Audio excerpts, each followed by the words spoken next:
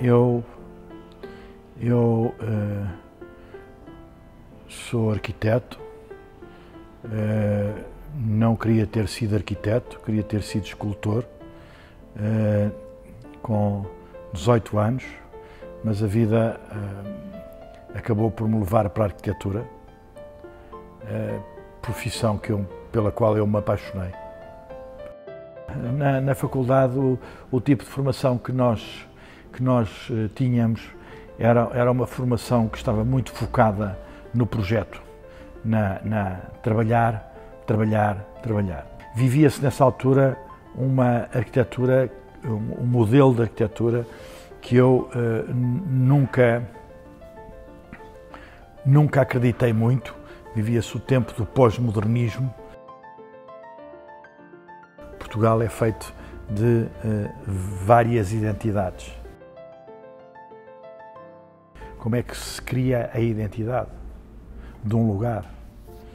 E para mim a identidade de um lugar tem a ver com a cultura, tem a ver com o, o clima, porque construía-se, constrói-se para o conforto humano, para dar conforto eh, de habitação ao ser humano. E há aqui um terceiro aspecto que é muito importante, que é os materiais autóctones, os materiais da região. Porque eh, esses vinham, apesar da linguagem ser barroca ou gótica, era, era é, é, a forma como, como formalizávamos essas linguagens era sempre com os materiais autóctones. O que lhe trazia, o que lhe trouxe sempre uma identidade muito própria. Eu, eu sou muito defensor de que nós, arquitetos, somos eh, eh, os guardiões da paisagem. Nós eh, somos, nós temos uma, uma, uma profissão muito difícil, porque a relação, por exemplo, de uma pessoa com o médico é uma relação exclusiva entre essas duas pessoas. A relação do arquiteto com uh, uh, não é uma relação que se faça exclusivamente com o seu cliente. É uma relação que passa também pelos organismos que licenciam, mas muito mais importante do que os organismos que licenciam, passa pelas pessoas que vivem o local e que vão ter que lidar com essa, com essa paisagem que nós estamos a criar. Houve, quanto a mim, um erro grande que o 25 de Abril trouxe, porque uh, a certa altura em Portugal achou-se que uh, uma profissão de serralheiro, estucador, pintor era uma, era uma profissão menor. E todos tinham que ser engenheiros e doutores. E, e tenho trabalhado com uma série de artesãos na área do ferro, na área dos estuques, na área da pintura sobre cavalete, na área de pintura sobre estuques, eh, eh, na área do azulejo, eh, em todas essas, todas essas áreas, entalhadores, marceneiros, enfim, tenho conhecido do melhor que há em Portugal. E temos trabalhado com gente de grande grande categoria e grande nível. Quando nós, quando nós temos acesso ao ar-condicionado, as pessoas constroem mal, têm um ar-condicionado para corrigir. Uh, e os únicos materiais que ao longo dos séculos provaram ser os mais sustentáveis e aqueles que uh, uh, conseguiram manter as construções mais eternas é a pedra, a madeira e o ferro.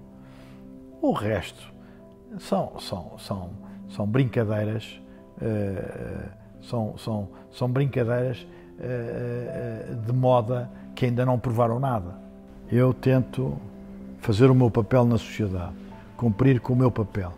Eu tento construir com sustentabilidade, eu tento construir com os materiais autóctonos, eu tento, enfim, eu tento uh, que os meus edifícios consumam pouca energia, eh, que durem eh, anos, que tenham capacidade para envelhecer bem. E, é, e, essa igreja está associada à igreja de São José dos Carpinteiros, à, à Irmandade dos 24 Ofícios, que também aí funciona. É engraçado porque eh, é engraçado porque pela primeira vez na minha vida e isso acontece, há sempre uma primeira vez, não é? Percebi que estava a fazer um projeto por subtração. Normalmente nós, arquitetos, somos sempre convidados a pôr mais um piso, a criar mais um anexo, fazer mais qualquer coisa. Ali o trabalho foi um trabalho de, de subtração. Não, é interessante, o projeto Pedras Salgadas tem alguns temas que são muito interessantes o que era identitário do Parque Pedras Salgadas, como eu disse, era aquela arquitetura eh, balnear dos anos 30, 40. Nessa tivemos um enorme respeito de restaurar e adaptar os edifícios às novas funções. Vão ver o casino, que era um edifício que era partido em dois. Eh, a parte de trás do edifício não tinha ligação com a parte da frente.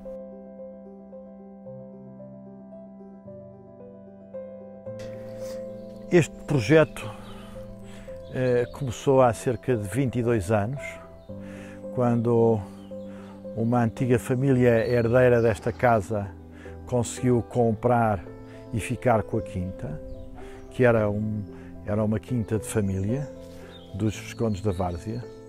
Esta quinta é uma quinta de produção agrícola tradicional e, portanto, o projeto consistiu em, em recuperar uma série de casas uh, para uh, dotar essas casas com quartos e com facilities para o, negócio que eles queriam implementar aqui.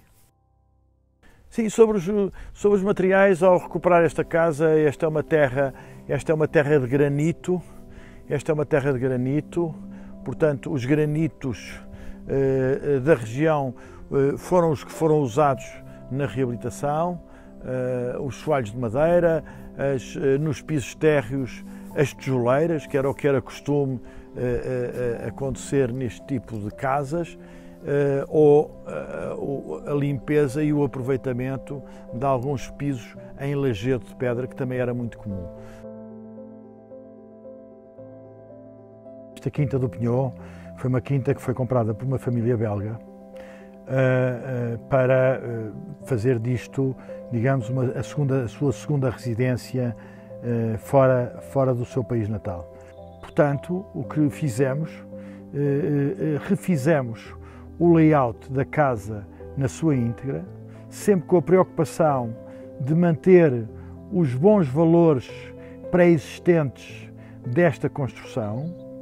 Abrimos alguns vãos nas fachadas inferiores e no pátio de chegada era um pátio próprio de quinta, tinha sido de alguma forma adulterado com a, com a, a, a criação de jardins dentro desse terreiro de chegada.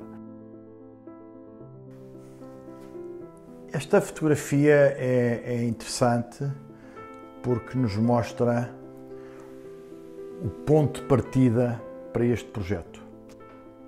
Na lógica do crescimento deste edifício, que tinha uma alma e que representava uma, uma, um, ponto de orientação para agentes do Douro, esta quinta era uma referência em termos de orientação e, e, que tinha uma determinada alma, o facto de nós termos sido obrigados a ampliar esta casa, que na sua origem eh, eh, visível teria 3.500 metros quadrados de área de construção, eh, passar para um programa com 22.500 metros quadrados de construção.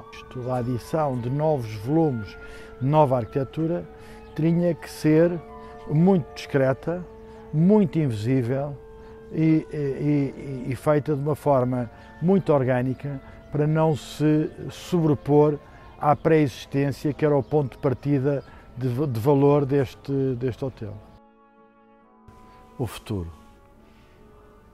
O futuro também tem a ver com outro projeto de vida que é, eu tenho um filho arquiteto que teve a sorte de ter aulas desde pequenino, que eu não tive, portanto que é muito melhor do que eu e que me provoca, que me, que me, que me pica para ir mais longe, não é? E que em conjunto muitos, alguns destes trabalhos ele teve uma, uma participação ativa importante e, e, e, no futuro vai ser vai, quem vai comandar este ateliê. Uh, eu estou, no fundo, uh, uh, andar com mais calma, a, a, a sobrevoar, a apoiá-lo no percurso dele.